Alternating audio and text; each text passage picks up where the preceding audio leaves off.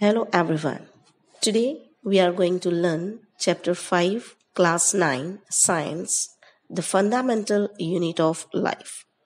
So first here we have to learn the meaning of the word fundamental. That what does the word fundamental mean? It means basic, a very necessary. To understand the meaning of fundamental, let's see an activity. Here it's a puzzle, a puzzle game. Normally on Sundays on, and on holidays we love to play puzzles. So you can see here that each piece of the paper is necessary to complete the picture puzzle because this is a picture puzzle. So as each piece of the paper is necessary to complete whole picture, in this way cell is the fundamental unit of life and it has its job cutouts so that the organism may live. Means cell is the fundamental unit of life of each and every life. Cell is the very basic unit of the life. If we rearrange all the pieces of the paper completely, the picture looks complete. And if we miss out even a single piece of paper, the picture will not complete. So here in this video we will learn list the scientists involved in the discovery of the cell, microscopic examination of plant cell and microscopic examination of animal cell. So we start with discovery of the cell. Discovery of the cell means who discovered the cell first time. So, discovery of the cell is associated with the invention of the microscope. Means without microscope, cell cannot be seen.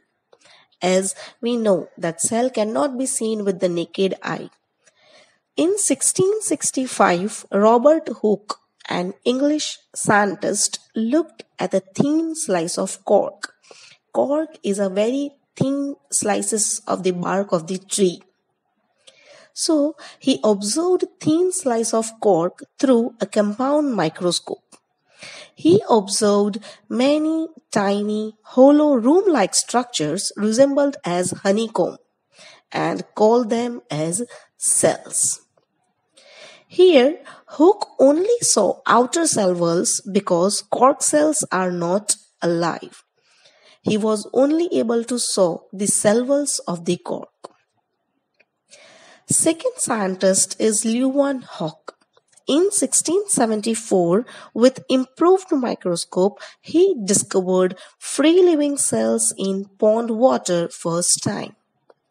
Free-living cells means the organisms may be moving here and there under the microscopes. They are called as free-living organisms. Next, Robert Brown. In 1831, he discovered the nucleus of the cell. Robert Brown first discovered that nucleus in the center, a darkly stained substance present in the cell. Purkinje in 1831 coined the term protoplasm for the fluid substances of the cell he firstly discovered, he firstly gave the term protoplasm. Protoplasm is the fluid substance present inside the nucleus and presence in the cytoplasm. Next are Schleiden in 1838 and Schwann in 1839. They proposed a cell theory.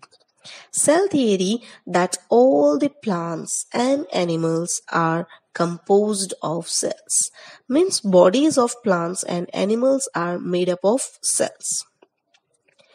Rudolf Virchow in 1855 he further expanded the cell theory by saying that all cells arrive from pre-existing cells that you can see over here in this image that from one cell by division method two daughter cells are divided in this way, these two daughter cells are further divided into four daughter cells.